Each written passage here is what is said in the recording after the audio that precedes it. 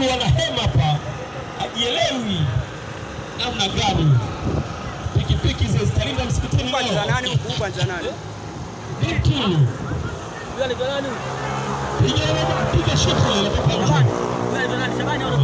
majani na vile vile kwamba tuweke uzio mdogo.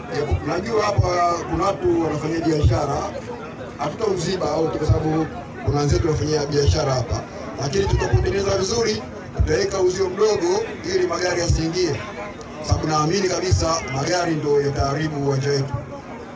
Kwa hiyo uh, leo tumekutana hapa kwa ajili tuone tu uwanja wetu ukoje, lakini naamini baadaye tutaunda kamati yetu maalum ili tuweze kurudisha uwanja vizuri.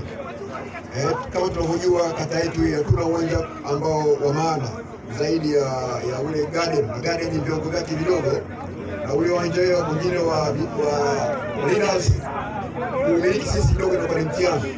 Naamini kabisa tukitengeneza uwanja huu kama nilivyoona hapa leo, tumekutana watu wengi, japokuwa hatukutangaza sana, lakini watu wamehamasika kuja.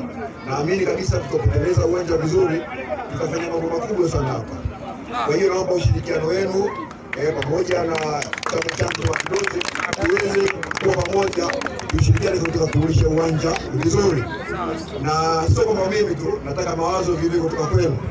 Ndio maana nikasema kwamba ah, baadhi ya viongozi na wanamichezo wote tukutane pamoja, na kitu tutaunda kamati na magoso na kina ndanda na watu wengine, tutaunda kamati maalum ambayo tukutana kwa jinsi ya kutengeneza uwanja pamoja, kila mtu atoe mawazo yake. Eh, mimi kijana wenu kama nilivyosema, kwa pamoja tuungane kwa kushirikiana, tuwezi kuisha uwanja si ndio jamani? Ndio. Naona kidogo tulio tumefarijika eh, kidogo japokuwa uwanja mbaya, lakini tumefarijika, au sio? Kwa hiyo naamini kabisa tutaporudisha uwanja vizuri, mambo yatakuwa vizuri zaidi, si ndio? Michezo safi.